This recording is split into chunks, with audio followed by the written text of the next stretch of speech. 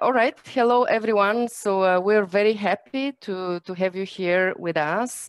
I just wanted to introduce the, the group to, to everyone. And that's really strange because you cannot see my screen big.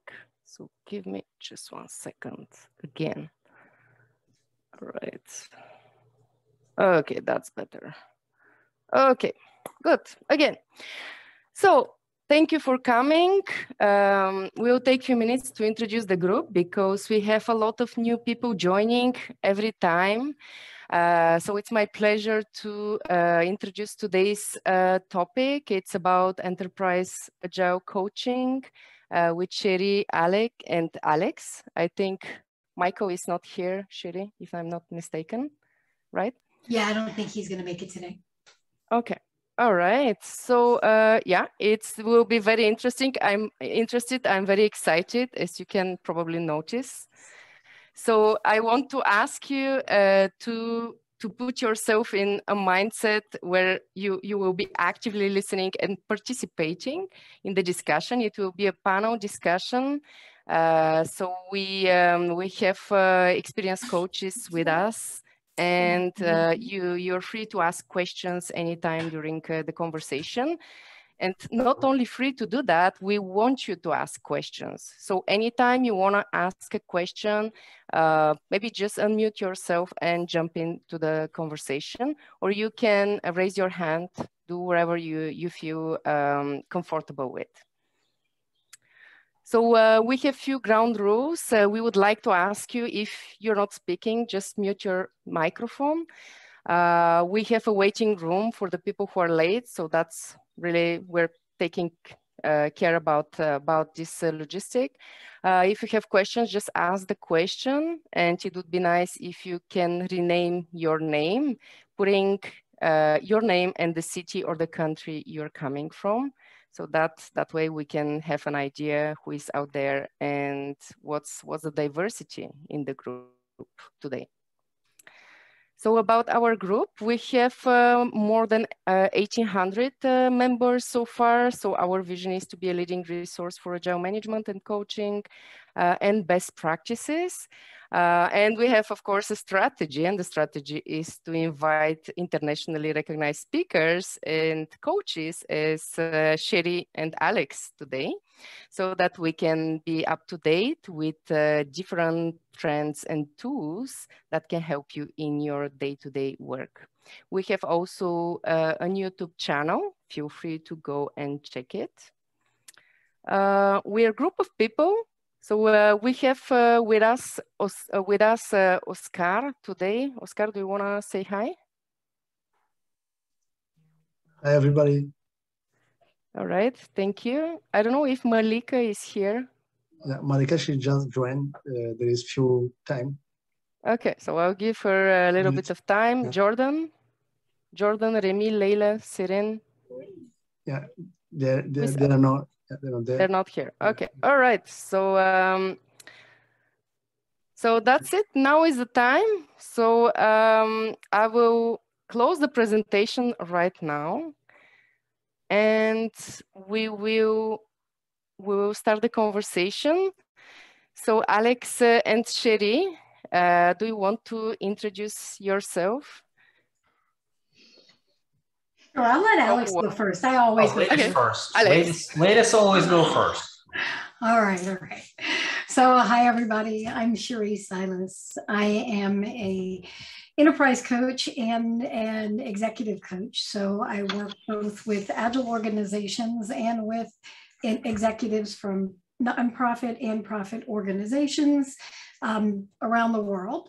And also am co-owner of Tandem Coaching Academy. And we focus there on developing coaches to do agile coaching and professional coaching and how to really integrate professional coaching into the agile space. So um, I live in Dallas, Texas, native of New Orleans. You might recognize the accent as not a Texas accent.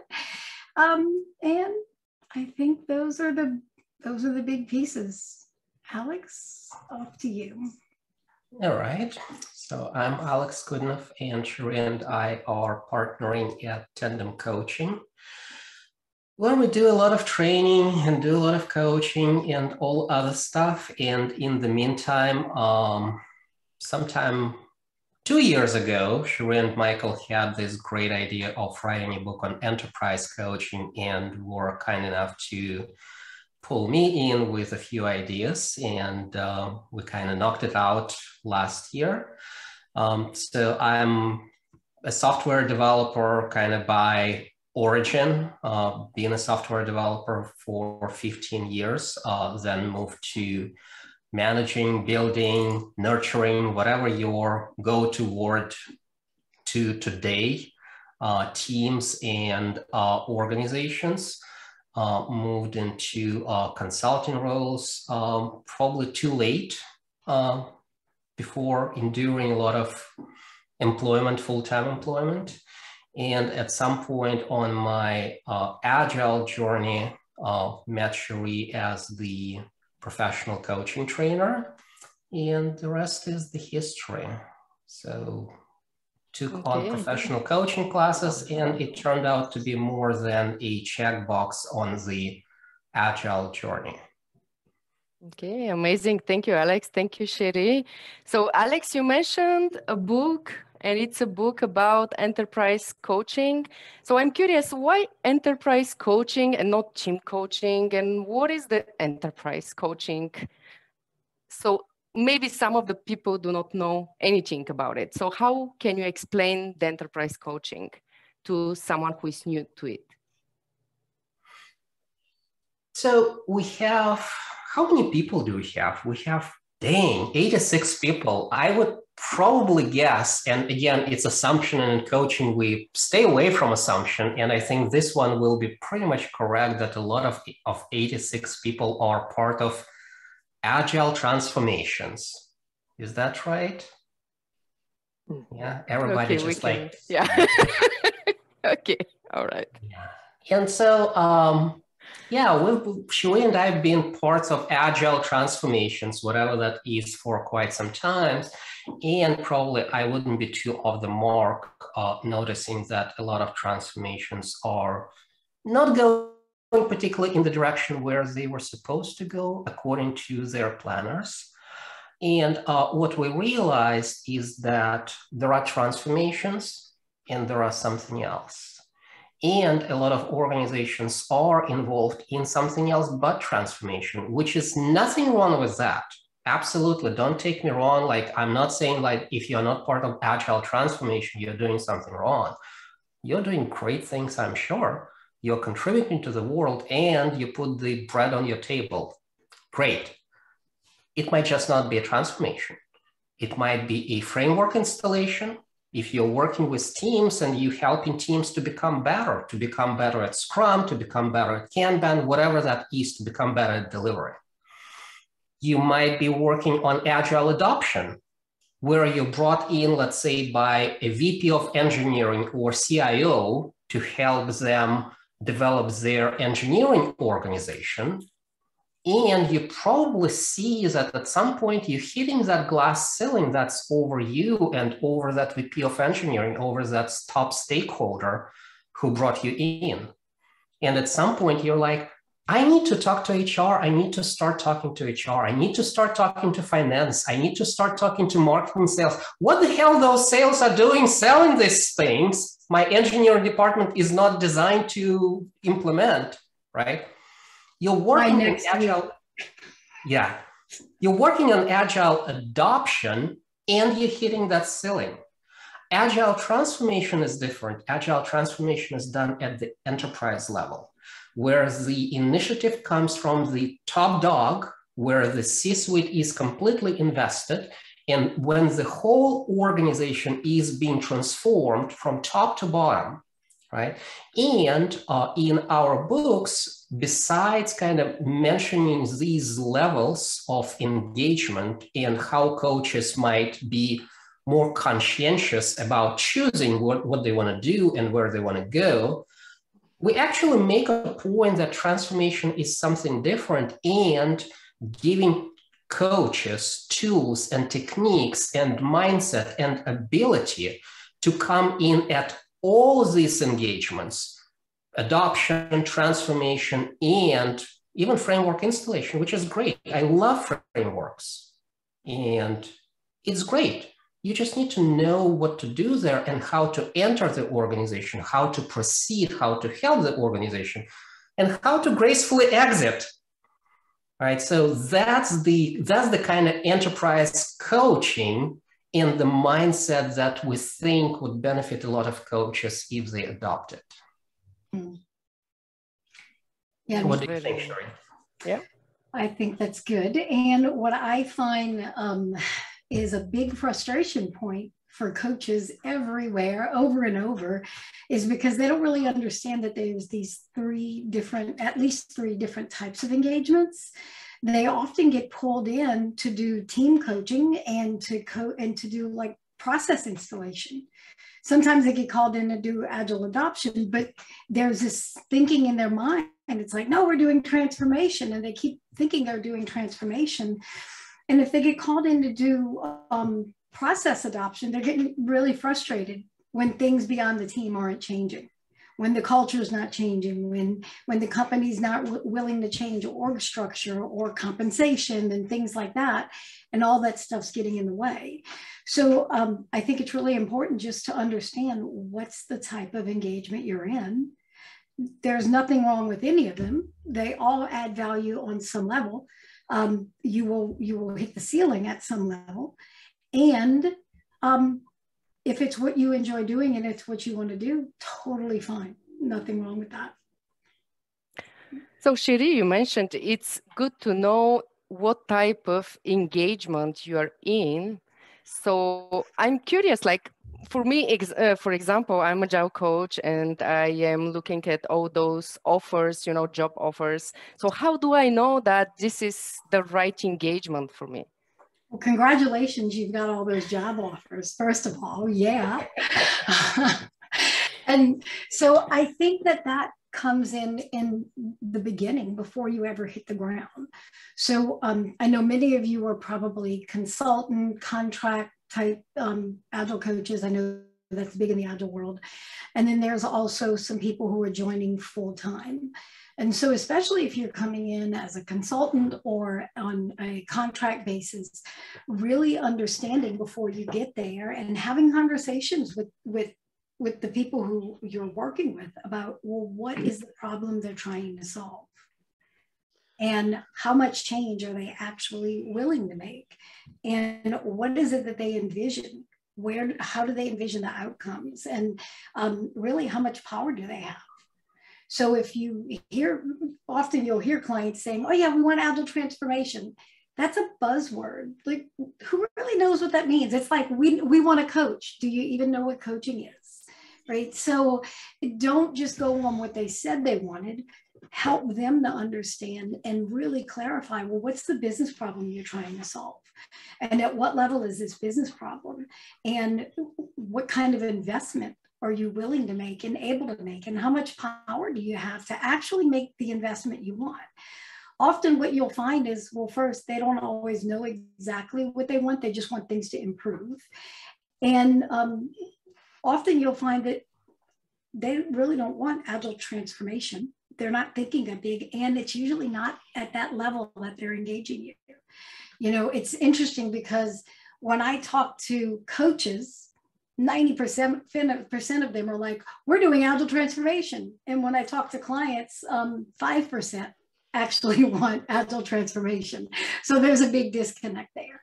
And so um, I think it would be helpful to just clarify the language so that we start to understand. It's just like coaching. Well, what is a coach? They're that person who comes in and fixes my company for me, right?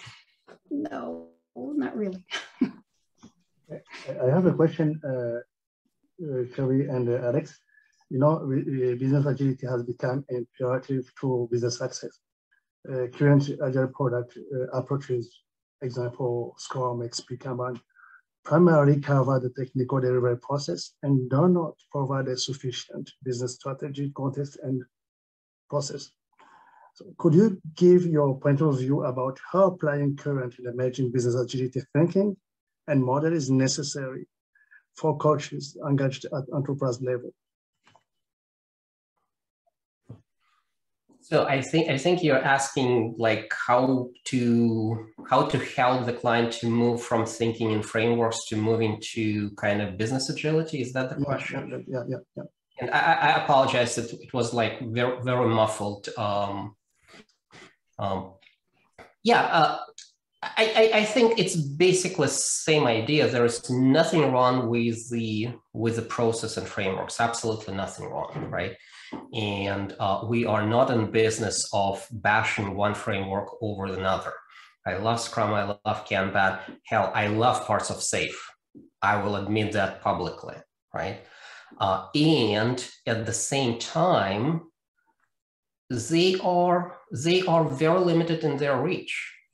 Scrum has never made agile enter, uh, Scrum has never made an enterprise agile enterprise. Agility is about mindset. Agility is how we think about delivering value to the customer. Let's face it, enterprises, like some enterprises, a lot of enterprises are out there to make money. A lot of enterprises are out there for the public benefit. And a lot of enterprises out there for goodness of the world, for goodness of the community, right? So they have different outcomes in mind and none of the frameworks will actually get them better at delivering these outcomes, right? The frameworks will help them at the lower level. So when I hear uh, a CIO is asking me, I know you're Kanban trainer, I know you are PST with Scrum.org, can you come and train my teams in Scrum? My answer is yes, I can. What do you want on the other end when I'm done with them training? Oh, they need to be better, they don't deliver, our customer are dissatisfied. Okay, now we have a real conversation. Your customer are dissatisfied, and you are jumping to a conclusion that if your teams are trained in Scrum, your customer satisfaction will go up right? What I'm not going to tell them, I'm not going to tell them all that I'm telling you, like, well, Scrum will not help you. You are just a moron thinking about that, right? You're jumping to conclusion. The conversation we're going to be having, so your customer are dissatisfied. What are your observations? What are your thoughts about the, the sources of this dissatisfaction?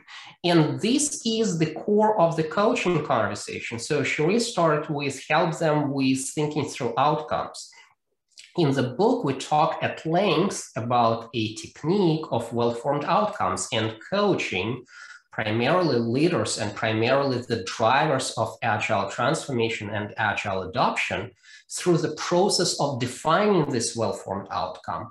What's the goal? Why are you going to do that? What resources do you have? Do you have everything under control? Uh, is that the goal kind of yours or is it imposed by somebody else? What's the ecology of this goal? And all those, sorry? And all those good stuff, there's like seven or nine steps in defining this outcome. And as you imagine, this is not a 10 minute conversation, right? This is an invitation. And again, we have this in the title of the book it's invitational approach to coaching right? So it behooves us to invite these stakeholders to have this conversation. So it seems like you are talking about bigger things here that uh, just training the teams. Would you like to have that conversation? I have experience in helping organizations to improve customer satisfaction to help them flow the value from concept to cash, would you like to have to explore this conversation? And usually the answer is yes. And that's how you start getting in the door, and that's how you start this conversation. And at the end of the day, in many cases, it becomes yeah, training is a part, it's a necessary part. And Scrum absolutely might belong there. And it's just a small part of that yeah, I think the thing to remember is that you can't take some, the framework is something that worked somewhere for somebody the way they, and the way it worked is the way they wrote it down. Right. And, and so people come and learn this and they're like, yep, I want to take this thing right out of the box, unpackage it, bring it to my other client and just drop it in there and it's supposed to work. It's, it doesn't really work that way right? It, just because you worked at another organization and you use some framework and you use 20 different ways to solve problems you come to the new organization they've got what appears on the surface to be the same problems those solutions will not work prepackaged the way they did it the other place. Why? Because it's a different system. There's a different political system. There's a different human system. There's different technical systems. There's different policy and procedure systems, right? Every, it's a whole different place. So while the concepts and the theories of how things work and your experience is extremely helpful, you can't just shove a square peg in a round hole and expect it to have a perfect fit.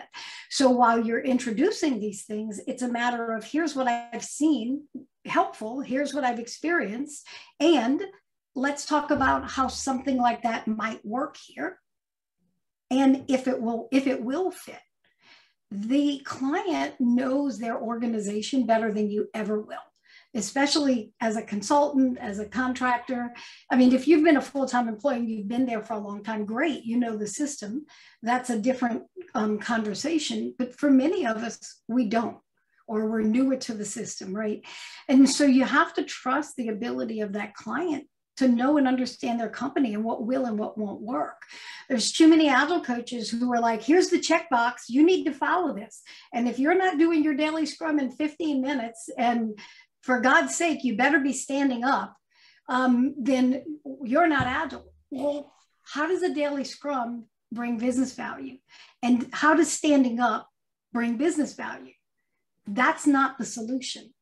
It's the implementation of a piece of the solution, right? And so as you're introducing frameworks or solutions or whatever it is you have, it's really a matter of don't think about the solution before you think about the problem. Don't come in here thinking, oh, we got to do Scrum. That's the solution. Hello, what's the problem? What's the problem we're trying to solve? Right. And so when we talk about this invitational coach uh, approach, this invitational approach to coaching, what that means is this is an invitation to have partnership with the client. I am here to be your partner to solve your problems, and it's your job to solve your problems. I can't do the work for you. If I come into your company and take over and start fixing everything, well, what happens when I leave? The fix leaves with me because all of the compliance I gained by forcing people to do stuff, it's gone, right? And so it's an invitation to partnership. And, and in that partnership, it's about looking at what the client needs. What is not working for you? What is what's impeding your progress towards getting the business results you want? Um, many agile coaches, I'll tell you, the number one question I get from agile coaches is, how do you deal with resistance? Nobody wants to work with me. Nobody wants to do stuff. I came, they hired me, and they're like, go away. We don't that want to was my next question, Cherie. I know. How do you deal with resistance? That's the number one question I get. And the answer is stop creating it, first of all, right? Just stop creating it. We create resistance when we come in and we think we know better. And we look at our client like they're broken and they need us to fix them. And I'm a superhero and I'm here to save the day. And um, then we start looking at leaders and talking to them like they don't know how to do their job and um, they were running that company before you got there and they can afford to hire you. So they must be doing something right. Right. So instead of assuming that I know everything, you know nothing, and I'm here to fix your company, how about build a partnership with them, trust that they're competent, and instead of working on trying to force your agenda, you know, you come in, you look around, and you're like, oh my goodness, this is not agile. That's not right. That's not right. You've got to do this and this and this. Man, drop that that just creates resistance and it doesn't help. What you want to be having the conversations about is what are the problems you're trying to solve and what's in the way? And what are the big things that I might be able to partner with you to think through those so we can figure out some experiments to try so we can get to a solution. If you go, if you're there for them, you have a better chance of getting acceptance. If you're there for you and their job is to make you look good by making your transformation go right, then then you're not going to really get much, right? Because what's their incentive to make you successful? That's that's not really why they brought you there. Yeah. Oh. And one one thing I always think about, and I know it might sound very corny on the surface, and it actually works. Your only job as a consultant in the organization is to make your manager looks good.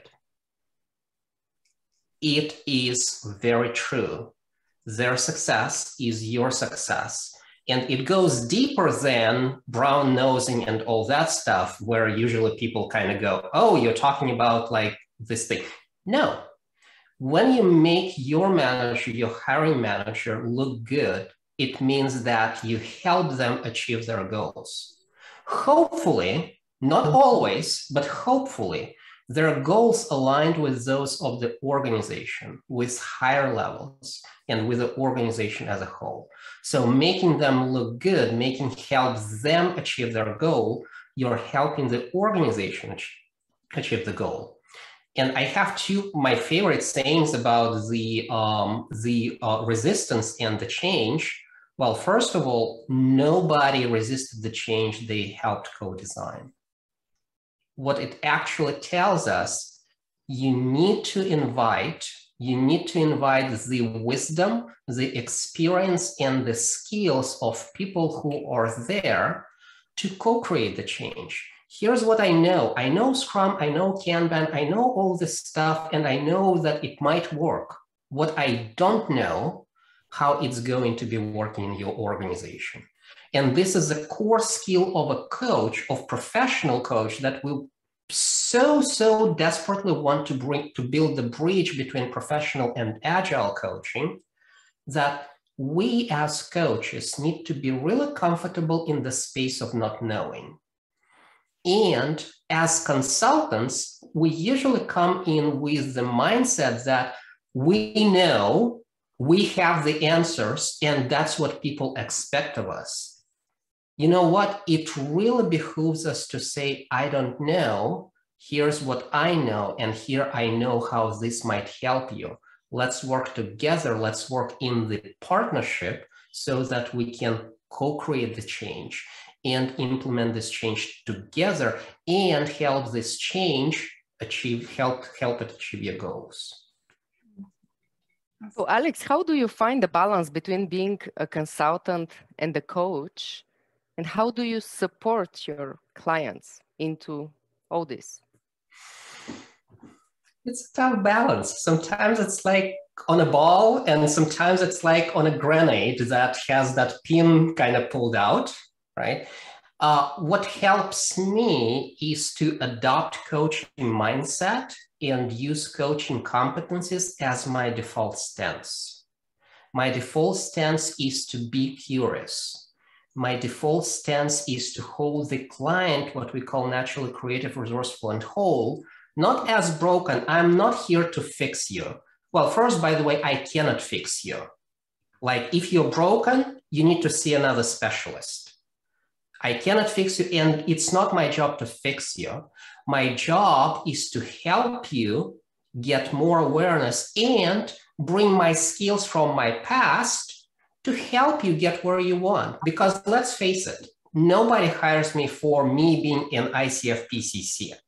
That's great skills, and nobody would hire me just for that. Maybe like my life coaching clients. What my enterprise clients hire me for, like I talk to CTOs, I talk to CIOs, they are not reaching because I'm coaching. They are reaching because I've been and walked in their shoes because I build the teams, I build the organizations, and I had success with that. They bring me for that. What I come in, I'm not saying, well, we are going to do this, we are going to build these teams, we are going to reorganize this. I get really curious about what their problem is. I, I, I make people being seen and heard. Because when they talk to a coach when they talk to a coach who is in coaching mindset who understand how to use empathy how to use other coaching competencies they feel seen, they feel that their problems are heard, and they are opening up to partner with a coach to solve their problems rather than they see an arrogant jerk who has who commands like several uh, hundred dollars an hour uh, rate and who is here to fix them and who is here to tell them everything that's wrong with them right so again I bring my expertise, I bring my skills, I bring my experience from the past. I know what worked for me, I know what worked for my organizations and teams in the past. And what I don't know what will work here. And what I will ensure is that we co-design this through open conversations, through exchange of ideas, through a lot of listening and going back and forth. We will co-design some experiments, which we will run inspect and adapt and go forward in that open manner and uh, coaching mindset is kind of the default stance mm-hmm. there. Yeah, I would like to add to this that um, let's first be really clear. If you're a coach, an agile coach, let's be specific, you are not only coaching. There is an expectation. You are hired as an agile coach because you have agile expertise what they don't expect from you is that when they say okay i'm really stuck how do i how do i do this for you to say well, how do you think you should do it that's a quick way to get like punched in the face and thrown out the door right when i was running coaching organizations and i had a bunch of enterprise coaches reporting to me number one phone call i got from executives was get this person out of here Every time we ask what to do, they're like, How would you do it? Get them out of here. I don't know why I'm paying them. Get them out. Right? Why? Because that's not coaching. Right? Coaching doesn't mean that all you can do is ask questions. Questions are one skill and it's one part of coaching. And just because you learned professional coaching does not mean that every conversation is a coaching conversation. There are times when what you should be doing is consulting and training and, uh, and mentoring and all that stuff. The difference between the way a consultant only stance might do it and a coaching approach to doing it would be like a consultant would have that thinking of, okay, I'm here. That's broke, that's broke, that's broke. This is how you fix it. You have to do it this way. Go do it.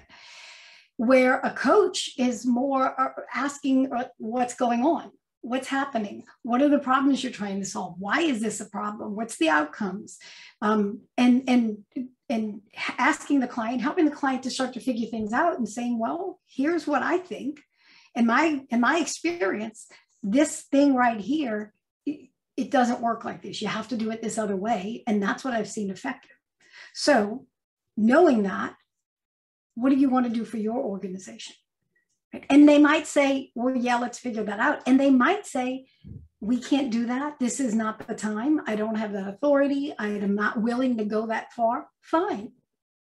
Your company. So, what do you want to do? Great. I'll support you in that. And you'll get down the road and they'll get as much success as they can. And then either they will stop getting success and say, we need to try something different. And you can say, okay, you want to try this? or they that's it i mean does that make sense like it's their it's their decision it's their company so trying to force them to do what you would do if it was your company it doesn't it doesn't work just go create your own company and run it that's will be more yeah. successful that's what i do if you think about it, uh, I, I, I, would probably not be too far off the mark saying that 85 people here read Lyssa's book, and I hope 85 people will read our book as well. So Lyssa's, Lyssa's contribution to Agile community cannot be overestimated. If she just created that X-Wing model and stopped, that would have been already groundbreaking. Yes. The model, the model is like 10, 12 years old and she and it's still amazing how precise it is and how simple it is. There are many many attempts to complicate that model wherever it will go. I don't know. But if you think about this model it's marvelous in its simplicity and it includes four stances. So it's on the content side it includes training and mentoring And on the process side, it includes professional coaching and facilitation, and it rests on a solid foundation of business transformational and technical knowledge. What's missing from that, what I call the meta skill or meta kind of meta model, uh, it's the skill that uh, most masterful coaches master. They know how to move across the stances easily and when precisely to move across them, how to deep into each and every of the knowledge domain, how and when to pull on those domains so that it benefits the client. So if you master the model, your next step is to master the fluidity that you can move across the stances in the model. And that's where you are an amazing agile coach. Mm, yeah. So there's a question in the box about how does understanding systems dynamics um, fit in to all this. Um, the question is around at the enterprise level, but I think system dynamics and understanding how to coach systems um, is a part of all of it, not just at the enterprise level. Because what you're doing is you're coaching systems. They're, they're human systems. And whether it's a team or an organization or a whole enterprise, it's all systems and there's embedded systems inside, right? All these little groups. And so when you are coaching at whatever level, especially as you're looking at the wider organization and the wider enterprise, it's really important to be able to sit, stand back and to um, to see and observe and understand how things that happen in one part of the system actually impact other parts of the system right? And so often you're like when you're working with teams something's happening whatever there's a problem happening you have to stop and think about well is this an isolated event? Is this this person is this just happening on this team? Or am i seeing this happen in different places? Is it showing up in different places of the organization right? Because it might be isolated and it might be systemic. And so it's a, it's a systemic problem. Fixing it on the team is only a temporary band-aid because you're going to see it everywhere else. And so it's a matter of understanding and looking at and helping the, the people who you're coaching to understand this is a cultural issue. This is a systemic issue. This is a policy issue. It's bigger than just we have people on teams who they're not getting along and they're all trying to be the superhero. Well, why is that? Is it because these five team members don't like each other and we need to just fire them because they're no good? Well, maybe it's part of the problem is that there's a compensation system that's that's wrong, or there is a um, performance management system that's wrong, and it's forcing people to go against each other because it's the only way they're going to get the raise because they get um, graded on a bell curve and all that stuff. That is a systemic problem it's not a team problem. And so part of the work you're doing when you're working with organizations and especially at the enterprise level, that's where a lot of these systemic issues are. Sometimes you got systemic issues like at the at the engineering product kind of level that that VP or whoever can handle, but often they go outside of it. And that's why enterprise coaching is important because it goes beyond just engineering. It goes beyond just your product group or your business group that you're working with in, in that little bubble. Um, it's bigger than that. Mm-hmm. And also something to be said there uh, of the importance of alignment when we are changing a lot, when this changes occurs, how that's aligned, if at all, with cultural values and company values we do a lot of training around coaching for values, coaching for values for individuals, and how the values show themselves in the systems and in the systems coaching, in the team coaching, in the organizational coaching. And when you see this dissonance, when you see this disconnect, when you see this tension in the systems and systems, whether it's group of people, whether it's two individuals, whether it's an organization, whether it's a leadership team, Everything is a system. Uh, absolutely fantastic read if you want uh, Donella Meadows uh, thinking in systems. She absolutely nails it, right? So uh, how does that aligns with the values that are being kind of hopefully the values were not created by an executive team that went on a posh two uh, two three days um, whatever breakout and then on monday they came back with here's our current values for the company and everybody is cynical right? So uh, values and listening for the values listening for the alignment and listening for tension what's the value of the teams that you're working what's the value of the department and organization you're working with with the stated values. How does that serve how does that prevent the team to move forward or the organization to move forward or how does that help them so um, just kind of another level of listening and another level of thinking and mirroring it back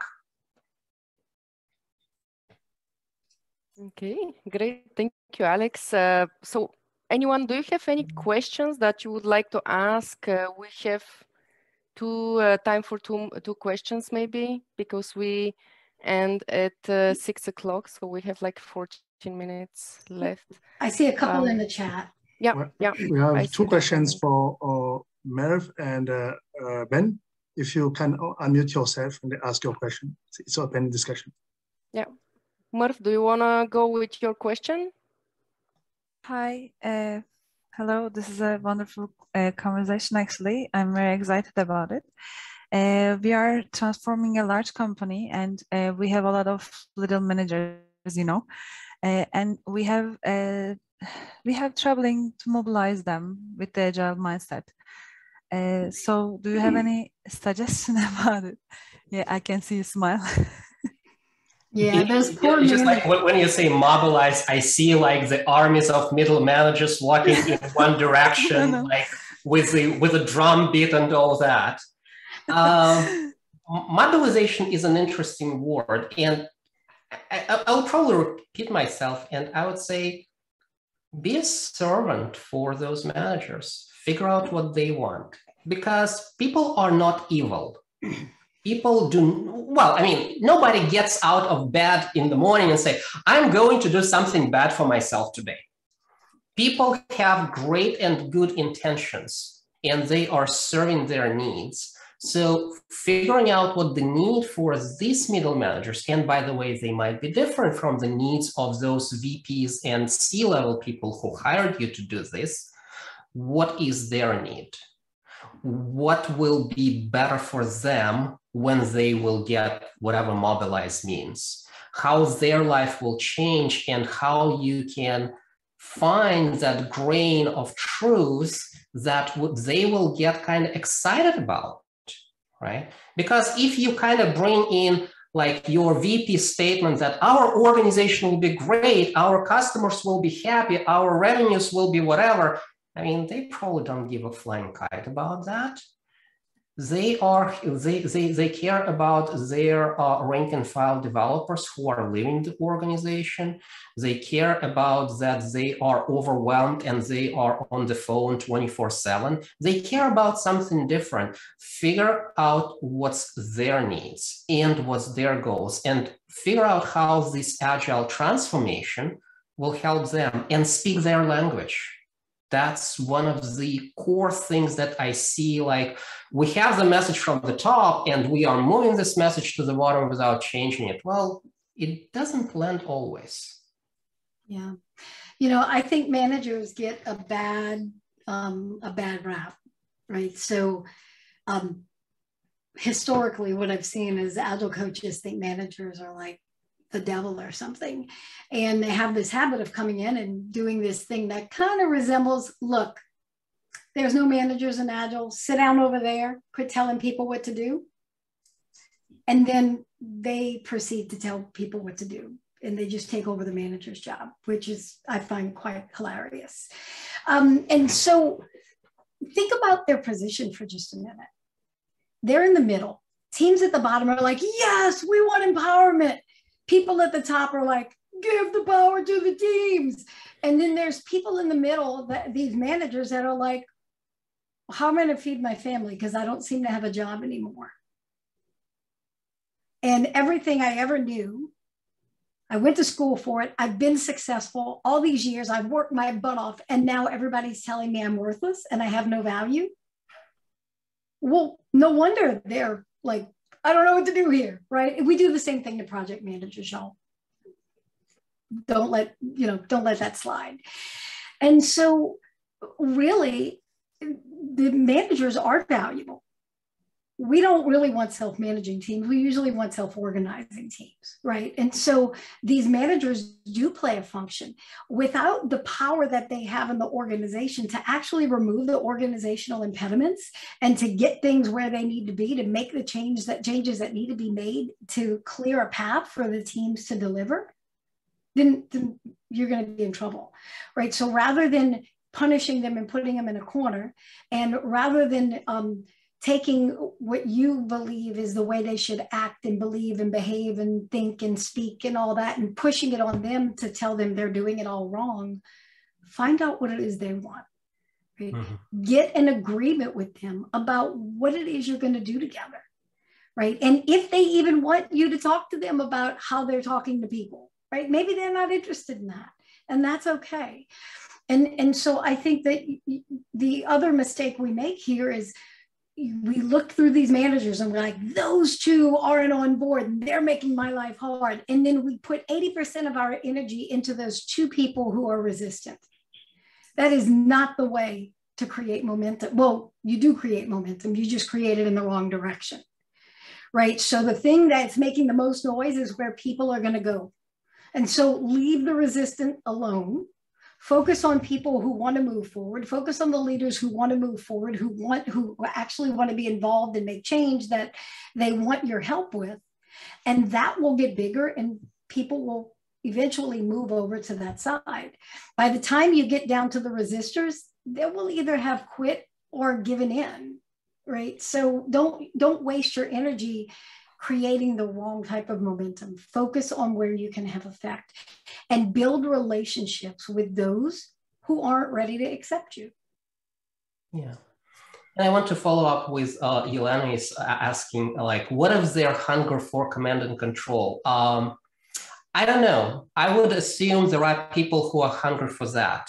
I have never met a single individual who is, I want to be dominated and I want to be commanded and I want to be under control. I truly believe that mastery, autonomy, and purpose is everybody's motivation. I mean, we can talk about fringes all day long. The core is mastery, autonomy, and purpose. So I would have probably reframed that. If I start seeing hunger for command and control, how much of my judgment I'm bringing to the table? What is under the underneath that? It's probably hunger for clarity, hunger to bring the bread on the table for their family. It's probably hunger for understanding what's going on, hunger for purpose, for meaning. As Cherie said, they've been working hard it's not really easy to get from rank and file to be a manager, a, sing, a senior manager, a director. They work their butts off, right? So they have the need, some, some people do have the need for titles, and we need to decide whether it's aligned with organizational values. We need to have that conversation. And most people, they are good people. They have really, really good intentions. And it's not the hunger for command and control, it's the hunger for clarity, for uh, for moving forward, for achieving the goals. And the, the way how we actually formulate that, how we put that in the words, it actually decides what it, it actually makes a huge difference if we as agile coaches are successful or our agile transformation quote unquote goes in in a little bit different direction. Yeah you know if you think for a minute about what makes you every individual here as a human what makes you want to start grabbing and controlling things? Hmm. It's usually i don't know what's going on so i need to get some control right? So when when managers are doing this controlling thing I, I need to come to all the stand-ups i need to know what's going on i need to you know tell people what to do whatever it's a it's a strategy we build up strategies in our lives for how we interact with uncertainty, for how we interact with a lack of transparency. And so they're just going to what they know.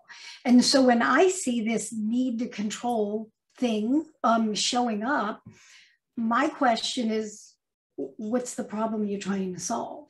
Right? This need to control is solving a problem for them. And so what's going on that you've got this kind of need to control. Of course, I would never say it that way because that's a good way to get thrown out, right?